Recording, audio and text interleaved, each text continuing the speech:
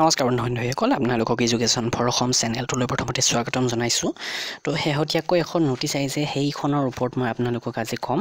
আৰু বহুতে ইতিমধ্যে কমেণ্ট কৰি থাকে যে S S C C H S L বা এম টি এছৰ ছেকেণ্ড লেভেলৰ বা আমাৰ আটাইতকৈ বেছি প্ৰশ্ন আহে অসম পুলিচৰ কনষ্টেবলৰ ফিজিকেল এফিচিয়েঞ্চি টেষ্ট কেতিয়াকৈ হ'ব। তো এই ক্ষেত্ৰত যোৱাকালি এটা ভিডিঅ' ফেচবুকতে হওক বা ইউটিউবতে হওক সকলোৱে গমেই পাইছে যে লকডাউন শেষ হোৱাৰ লগে লগে ইয়াৰ প্ৰচেছ আৰম্ভ হ'ব। কিন্তু কিদৰে আৰম্ভ হ'ব? ঘপহকৈ নটিচ আহি যাব নে তাৰ কাৰণে আমাক আকৌ সময় দিব? কাৰণ ইতিমধ্যে লকডাউন হিচাপে বহু বন্ধু বান্ধৱী এনেকুৱা আছে যিসকলে ঘৰৰ পৰা ওলাব পৰা নাই। তো তেওঁলোকে বা ঘৰৰ পৰা আমি ওলোৱাটো উচিতেই নহয় তেওঁলোকৰ প্ৰেক্টিচ বৰ্তমান কমি আছে। কিন্তু আপোনালোকে ষ্টাডি কৰিব পাৰে অসম পুলিচৰ কাৰণে।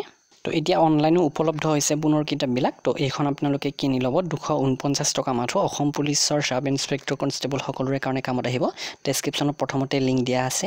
আৰু আপোনালোকে জব আপডেটবিলাক পাবলৈকে আমাৰ অফিচিয়েল ৱেবছাইটকেইটা ভিজিট কৰি থাকিব। লগতে বৰ্তমান আমাৰ ৱেবছাইটকেইটাত ৰচনা বা তেনেকুৱা ক্লাছ টেন আৰু হায়াৰ ছেকেণ্ডেৰী লেভেলৰ ষ্টুডেণ্টৰ কাৰণে সহায় হোৱাকৈ মেটেৰিয়েলছো আগবঢ়োৱা হৈছে। তো প্ৰথমতে এতিয়া শেহতীয়াকৈ অহা নটিচখন চাওঁ। এইখন আহিছে চাৰি তাৰিখে। অৰ্থাৎ যোৱাকালি আহিছে ষ্টাফ চিলেকশ্যন কমিশ্যনৰ ফালৰ পৰা এছ এছ চিৰ যিবোৰ এক্সাম হৈ আছিলে সেইবোৰ ষ্টপ কৰিব লগা হৈছে। S S C C H S এলৰ দুই তিনিদিন হৈ গৈছে আৰু এম টি এছৰ যিটো ছেকেণ্ড লেভেলৰ অৰ্থাৎ টায়াৰ টুৰ এক্সাম আছিলে সেইটো এইকেইদিনৰ ভিতৰতে হোৱাৰ তাৰিখ আছিলে কিন্তু সেইবোৰো পিছুৱাই দিয়া হৈছে। কিন্তু কেতিয়াকৈ এইবোৰ হ'বগৈ? তো এই ক্ষেত্ৰত তেওঁলোকে ইয়াতে উল্লেখ কৰিছে যে এক্সামিনেশ্যনবিলাক ওৱান মান্থ আগতে এমাহ আগতে বা তাতোকৈ আগতে ঘোষণা কৰিব যে অমুক তাৰিখে এক্সাম হ'ব। আৰু সেইমতে এমাহতকৈ যথেষ্ট সময় আপোনালোকক ষ্টাডি কৰিবলৈ বা যিকোনো ক্ষেত্ৰতে দিয়া হ'ব। তো তাৰ কাৰণে আপোনালোকে বহুতে চিন্তা কৰি আছিলে। তো এইটো এছ এছ চিৰ ফালৰ পৰা কনফাৰ্ম কৰা হৈছে। আৰু ইতিমধ্যে অসম পুলিচৰ ফালৰ পৰাও ঘোষণা কৰিছে যে এই লকডাউন শেষ হোৱাৰ লগে লগে পুনৰ এই প্ৰচেছবিলাক আৰম্ভ কৰিব আৰু তাতেও নিশ্চয় আমাক সময় দিব।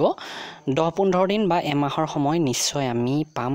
প্ৰেক্টিছ কৰাৰ কাৰণে বা যিকোনো ক্ষেত্ৰত S I jail warder constable সকলোৰে কাৰণে আৰু যোৱাকালিৰ ভিডিঅ'টোত আপোনালোকে দেখা পাইছে সেইটো কথা উল্লেখ কৰিছে যে এই লকডাউন শেষ হোৱাৰ লগে লগে আৰু এই পৰিৱেশটো পৰিস্থিতিটো যেতিয়াই ভাল হ'ব সকলোবিলাক প্ৰচেছ আৰম্ভ হ'ব। আৰু এই যিটো অসম পুলিচৰ এইবাৰৰ নিযুক্তি এইটো আটাইতকৈ ডাঙৰ নিযুক্তি প্ৰক্ৰিয়া হ'ব কাৰণ প্ৰায় গোটেইখিনি মিলাই আঠ দহ হেজাৰমান পোষ্ট আছে constable S I A P আৰু এইবিলাক মিলাই।